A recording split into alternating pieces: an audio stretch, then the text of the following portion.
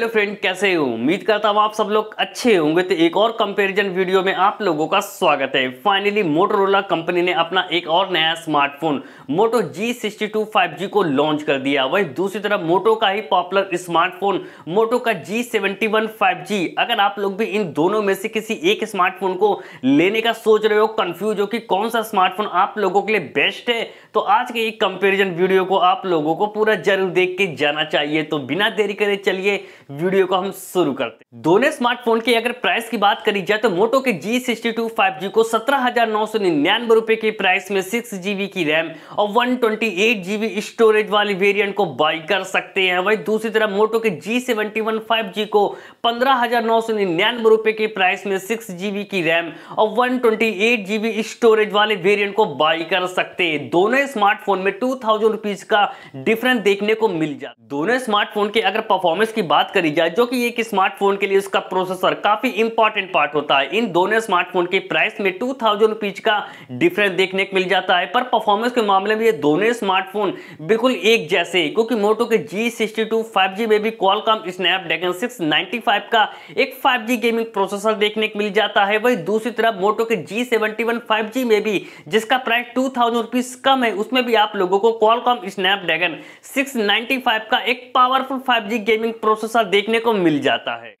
दोनों स्मार्टफ़ोन के अगर डिस्प्ले सेगमेंट की बात करी जाए तो मोटो का G seventy one five G काफ़ी ज़्यादा आगे निकल जाता है, क्योंकि मोटो के G seventy one five G का जो प्राइस है, वो टू थाउज़ेंड रुपीज़ कम है। उसके बाद भी आप लोगों को सिक्स पॉइंट फोर इंच की full H D plus AMOLED display देखने को मिल जाती है। डिस्प्ले की अच्छी स्मूथनेस के लिए सिक्सटी हर्टेज रिफ्रेश रेट का सपोर्ट देखने को मिल जाता है। वही दूसरी तरफ़ मोटो के जी सिक्सटी का प्राइस टू ज़्यादा है। उसके बाद भी आप लोगों को सिक्स इंच की full H D plus IPS display देखने को मिल जाती है और डिस्प्ले की अच्छी स्मूथनेस के लिए 120 ट्वेंटी रिफ्रेश रेट का सपोर्ट देखने को मिल जाता है। तो अगर आप लोग भी एक अच्छी डिस्प्ले वाला स्मार्टफ़ोन लेने के लिए सोच रहे हो तो आप लोगों को मोटो के जी सेवेंटी की तरफ़ जाना चाहिए। स्मार्टफ़ोन के अगर कैमरा सेगमेंट की बात करी जाए तो प्राइस में टू थाउज़ेंड रुपीज़ का डिफरेंस देखने को मिल जाता है। पर कैमरे के मामले में ये दोनों स्मार्टफ़ोन बिल्कुल एक जैसे हैं, क्योंकि मोटो के G sixty two five G में भी बैक में ट्रिपल रियर कैमरा सेटअप देखने को मिल जाते हैं। 50 मेगापिक्सल का मेन प्राइमरी कैमरा मिलता है। बाकी के दो कैमरे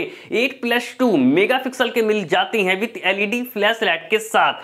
वही सेल्फी के लिए 16 मेगापिक्सल का सेल्फी कैमरा देखने को मिल जाता है। पर मोटो के G sixty two five G से आप लोग 4K वीडियो रिकॉर्ड नहीं कर सकते। वही दूसरी तरफ़ मोटो के G seventy one five G का प्राइस टू थाउज़ेंड रुपीज़ कम है। उसके बाद भी आप लोगों को बैक में ट्रिपल रियर कैमरा सेटअप देखने को मिल जाते हैं। 50 मेगापिक्सल का मेन प्राइमरी कैमरा मिलता है। बाकी के दो कैमरे 8 प्लस टू मेगापिक्सल के मिल जाते हैं विथ एलईडी फ्लैश लाइट के साथ। पर मोटो के जी सेवेंटी वन के पास एक एडवांटेज है कि आप लोग फ़ोन के बैक कैमरे से 4K वीडियो आसानी से रिकॉर्ड कर सकते हैं। सेल्फी कैमरे की अगर बात करी जाए तो 16 मेगापिक्सल का सेल्फी कैमरा देखने को मिल जाता है। स्मार्टफ़ोन के अगर बैटरी सेगमेंट की बात करी जाए तो एक बार फिर से मोटो का जी सेवेंटी कम प्राइस में भी काफ़ी ज़्यादा बेटर हो जाता है, क्योंकि मोटो के जी सेवेंटी में फाइव थाउज़ेंड की एक बड़ी बैटरी मिल जाती है। थर्टी थ्री वाट के फास्ट चार्जिंग के साथ यूएसबी टाइप सी पोर्ट का सपोर्ट देखने को मिल जाता है। वही मोटो के G sixty two five G में भी फाइव थाउज़ेंड एमएच की एक बड़ी बैटरी मिल जाती है, पर आप लोगों को सिर्फ़ ट्वेंटी वाट का ही टर्बो फास्ट चार्जिंग का